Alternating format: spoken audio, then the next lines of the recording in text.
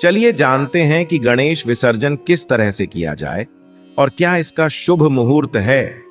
इस वीडियो में हम वह सभी बातें जान लेते हैं और कौन से उपाय किए जाएँ। दस दिनों तक चलने वाला गणेशोत्सव, गणेश उत्सव पर्व अनंत चतुर्दशी तिथि पर घरों और बड़े बड़े पंडालून में स्थापित भगवान गणेश की प्रतिमा को जल में विसर्जित किया जाएगा। सुख समृद्धि और विघ्न हरता भगवान गणेश को भाद्रपद माह की चतुर्थी तिथि पर विधि विधान के साथ पूजा करते हुए घर पर स्थापित किया जाता है और अनंत चतुर्दशी पर विसर्जन के साथ समाप्त हो जाता है। मानता है कि भगवान गणेश जी का जन्म भाद्रपद माह की चतुर्थी तिथि के दिन हुआ था।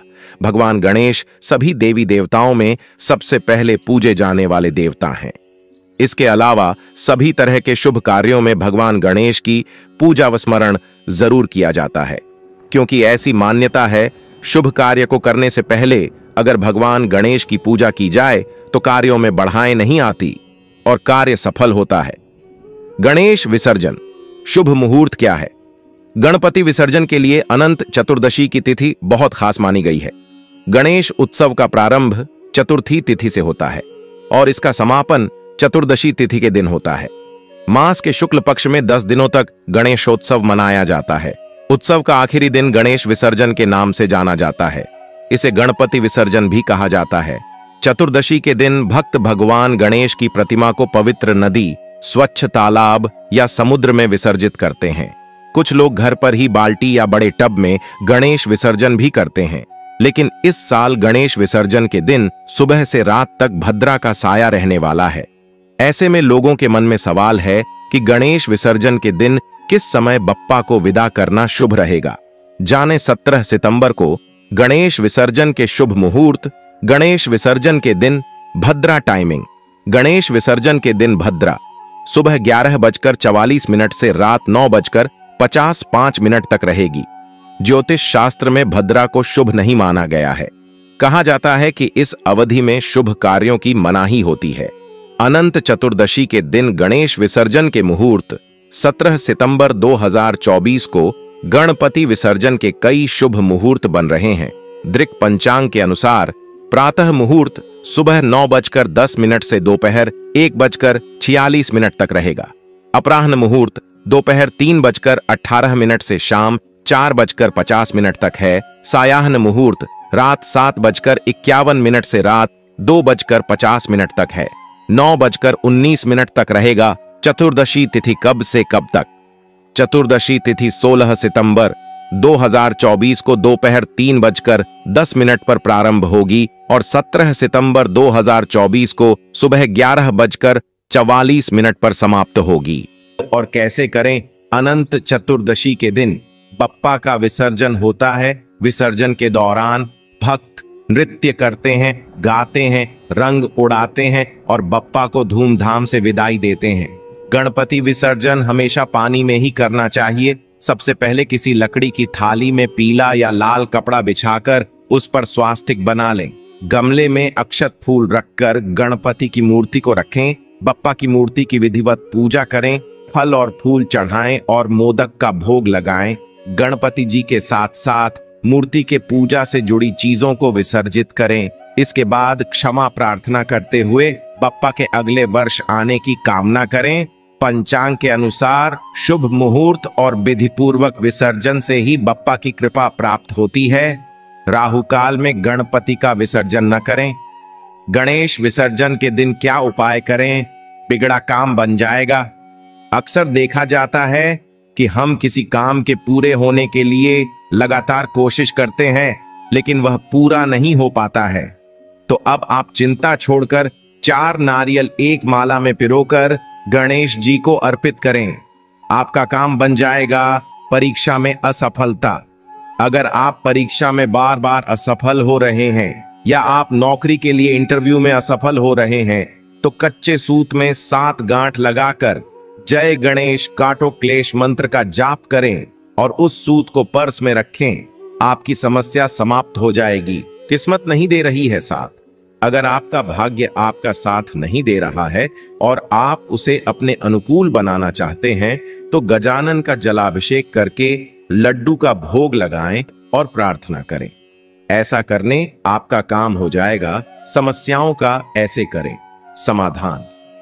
यदि आप किसी समस्या से लगातार परेशान हैं तो गणपति का स्वरूप कहे जाने वाले हाथी को हरा चारा खिलाकर प्रार्थना करने से आपकी समस्या का समाधान हो जाएगा। धन प्राप्ति के लिए उपाय।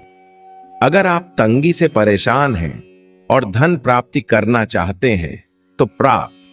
काल उठकर स्नान करें और गाय को शुद्ध घी और गुड़ का भोग लगाएँ। आपकी समस्या जल्द समाप्त होगी अगर आता है ज़्यादा गुस्सा। अगर आपकी गुस्सैल प्रवृत्ति से आपको कई कठिनाइयों का सामना करना पड़ता है तो आप लाल रंग का फूल सात दिनों तक भगवान गणेश को चढ़ाएँ। आपका क्रोध खत्म हो जाएगा, तुतलाहट दूर करता है, ये उपाय। कभी कभी देखा जाता है कि आपका बच्चा बचपन से ही वाणी दोष से ग्रसित होता है। यदि आप उसकी वाणी से तुतलाहट खत्म करना चाहते हैं तो केले की एक माला बनाकर भगवान गणेश को चढ़ाएँ। ऐसा करने से वाणी दोष से मुक्ति मिलती है पारिवारिक कलह से। बचने के उपाय आपका परिवार। अगर पारिवारिक कलह से जूझ रहा है तो बुधवार के दिन गणेश जी की प्रतीकात्मक मूर्ति बनाकर घर के मंदिर में स्थापित करें और रोज उसकी पूजा करें। ऐसा करने से सुख बना रहता है। घर के मुख्य दरवाजे के पास गणेश जी की मूर्ति की स्थापना करने से घर में सुख और समृद्धि बनी रहती है। गणपति विसर्जन का महत्व क्या है? गणेश विसर्जन के माध्यम से यह माना जाता है कि भगवान, गणेश अपने माता पिता भगवान शिव और देवी पार्वती के साथ कैलाश पर्वत पर वापस जाते हैं। इस दिन भक्त भगवान की आध्यात्मिक और दिव्य उपस्थिति के लिए अपनी श्रद्धा अर्पित करते हैं। यह गणेश जी की यात्रा को आकार से निराकार तक मनाता है। हिंदू धर्म में यह एकमात्र त्योहार है, जो सर्वशक्तिमान के दोनों रूपों, भौतिक रूप के साथ साथ आध्यात्मिक रूप, निराकार, पर भी श्रद्धा व्यक्त करता है। यह उत्सव जन्म, जीवन और मृत्यु के चक्र के महत्व को दर्शाता है और इस तथ्य पर ज़ोर देता है कि जीवन में सब कुछ क्षणिक है। गणपति जी को अच्छी शुरुआत का देवता माना जाता है और माना जाता है कि वह विसर्जन के समय घर और परिवार की सभी बाधाओं को अपने साथ ले जाते हैं। यह शायद सबसे प्रमुख त्योहारों में से एक है, जिसका समाज के हर वर्ग को बेसब्री से इंतज़ार रहता है। गणपति विसर्जन की विधि क्या है? अनंत चतुर्दशी के दिन, शुभ मुहूर्त में गणेश जी की प्रतिमा का विसर्जन किया जाता है। परंतु विसर्जन से पहले पप्पा की विधि विधान से पूजा की जाती है। इसके लिए सबसे पहले भगवान गणेश की रोली, चंदन, अक्षत, फूल, माला आदि अर्पित कर गणेश जी को मोदक समेत पसंदीदा चीज़ों का भोग लगाएँ। साथ ही पूजन के बाद धूप दीप जलाकर मंत्र जाप और आरती करें। फिर गणपति बप्पा से बीते दस दिनों में पूजन के दौरान हुई भूल चूक के लिए क्षमा मांगे। इसके बाद भगवान गणेश को अर्पित की हुई सभी चीज़ों को एक पोटली में बाँध लें। फिर बप्पा की मूर्ति को गाजे बाजे के साथ विसर्जन के लिए लेकर जाएँ तथा किसी पवित्र नदी में विसर्जित कर दें। ध्यान रहे कि विसर्जन के दौरान गणेश जी की मूर्ति को एकदम से पानी में न छोड़ें, बल्कि प्रतिमा को धीरे धीरे विसर्जित करें। इसके बाद हाथ जोड़ ढाककर भगवान गणेश से कृपा प्राप्ति और अगले साल जल्दी आने की प्रार्थना करें। गणपति विसर्जन की कथा क्या है? धार्मिक ग्रंथों के अनुसार श्री वेद व्यास ने गणेश चतुर्थी से महाभारत कथा श्री गणेश को लगातार दस दिन तक सुनाई थी, जिसे श्री गणेश जी ने अक्षरश लिखा था। दस दिन बाद, जब वेद व्यास जी ने आँखें खोली तो पाया कि दस दिन की अथक मेहनत के बाद गणेश जी का तापमान बहुत अधिक हो गया है। तुरंत वेद व्यास जी ने गणेश जी को निकट के सरोवर में ले जाकर ठंडा किया था। इसलिए गणेश स्थापना कर, चतुर्दशी को उनको शीतल किया जाता है। इसी कथा में यह भी वर्णित है कि श्री गणपति जी के शरीर का तापमान न बढ़े, इसलिए लेकिन गणपति बप्पा की पूजा आराधना करने में तुलसी दल को अर्पित करना वर्जित माना जाता है। इसके पीछे कई पौराणिक कथाएँ हैं, जिसमें धार्मिक ग्रंथों की माने तो एक बार भगवान गणेश ने तुलसी के विवाह के प्रस्ताव को ठुकरा दिया था, जिसके बाद तुलसी ने गणेश जी को दो विवाह होने का श्राप दे दिया था। शायद ही वजह है कि गणेश जी की पूजा आराधना में तुलसी अर्पित करना वर्जित बताया गया है। माताएँ, बहनों, कमेंट बॉक्स में गणपति बप्पा मोरिया ज़रूर लिखें, जिससे कि आपकी सभी मनोकामनाएँ, इच्छाएँ पूरी हो जाती हैं। माताएँ, बहनों, आप सभी को हम बता दें कि किसी का अपमान न करें। इस दौरान बुज़ुर्ग, महिला और बच्चों का अपमान न करें, बच्चों पर बच्चों पर हाथ न उठाएँ, हिंसा से दूर रहें। इन दस दिनों में मन, वचन और कर्म से हिंसा से दूर रहें। मन में बुरे भाव न आने दें, शारीरिक संबंध न बनाएँ। इस दौरान शारीरिक संबंध बनाना अच्छा नहीं माना जाता। अतः ब्रह्मचर्य का पालन करें, तामसिक भोजन न करें। इस दौरान मांस, मटन, मछली या अंडे जैसा तामसिक भोजन न करें। भूमि के अंदर उगने वाले कंदमूल जैसे प्याज, लहसुन, मूली, चुकंदर, गाजर का सेवन नहीं करना चाहिए। पहले बप्पा को भोग लगाना न भूलें। कुछ भी खाने से पहले बप्पा को भोग लगाएँ। इसके बाद ही भोजन करें। बप्पा को अकेला न छोड़ें। घर से बाहर जा रहे हैं तो परिवार का कोई न कोई सदस्य घर पर रहे। उन्हें अकेला छोड़कर न जाएँ। ये बुरे कार्य न करें। जुआ न खेलें। निंदा चुगली करने से बचें। क्रोध न करें। संयम से काम लें। झूठ नहीं बोलें, किसी का उपहास न करें, किसी को धोखा न दें। बुरी आदत से दूर रहें, नशा न करें, पवित्रता का रखें। ध्यान घर में गंदगी न करें, प्रतिदिन स्नान करें। कोई महिला पीरियड से हैं तो पवित्रता का ध्यान रखें। तुलसी वर्जित भगवान गणेश के व्रत और पूजा में तुलसी का उपयोग नहीं किया जाता, इसलिए पूजा, प्रसाद या घर पर पकने वाले भोजन में तुलसी न डालें।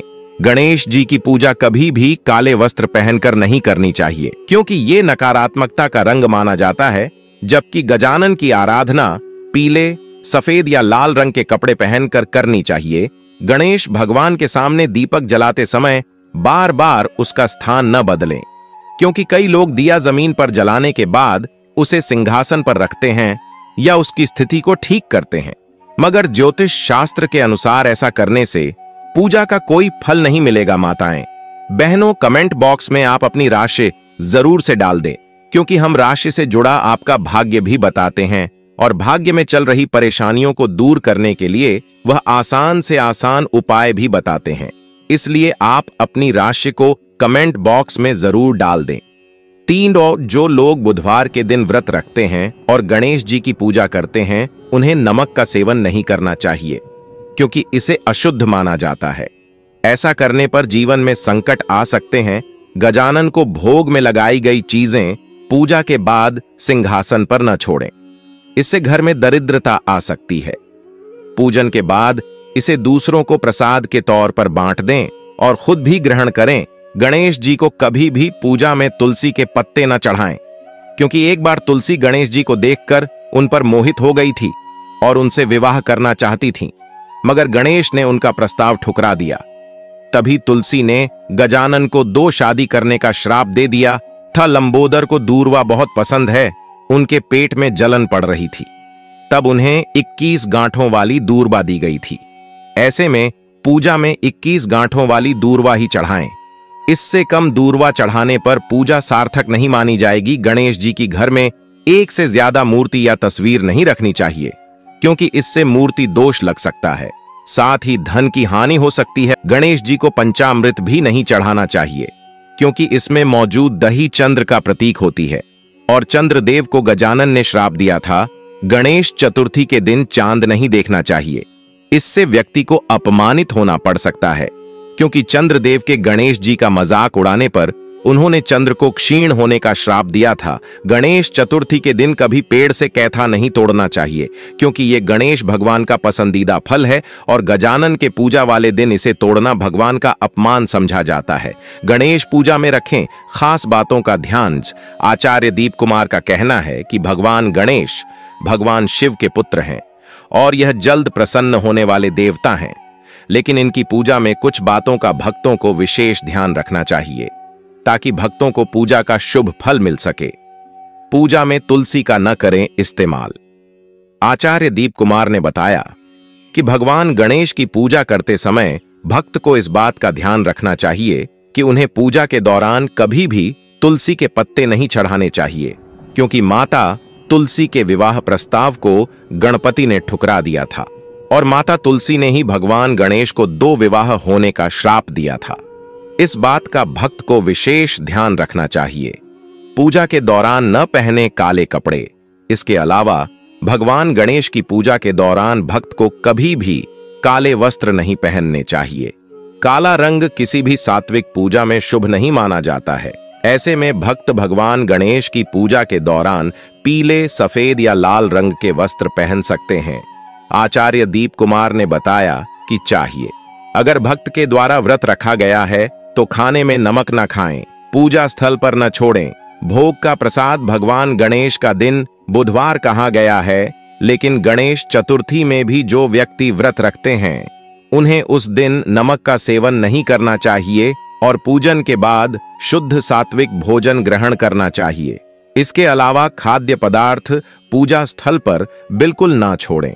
भगवान गणेश की पूजा करने के बाद उनको भोग में लगाए गए खाद्य पदार्थ को पूजा स्थल पर नहीं छोड़ाना चाहिए कि ऐसा करने से घर में दरिद्रता आती है। पूजा करने के बाद भोग में लगाई गई सामग्री को प्रसाद के रूप में अन्य लोगों को बांट देना चाहिए। बार बार न बदलें। दीपक का स्थान इसके अलावा गणपति की पूजा में दीपक जलाने को लेकर भी विशेष सावधानी रखनी चाहिए। भक्त को पूजा के दौरान दीपक जलाने से पहले उसकी स्थिति तय कर लें। दीपक जलाने के बाद बार बार उसकी स्थिति बदलना ठीक नहीं होता।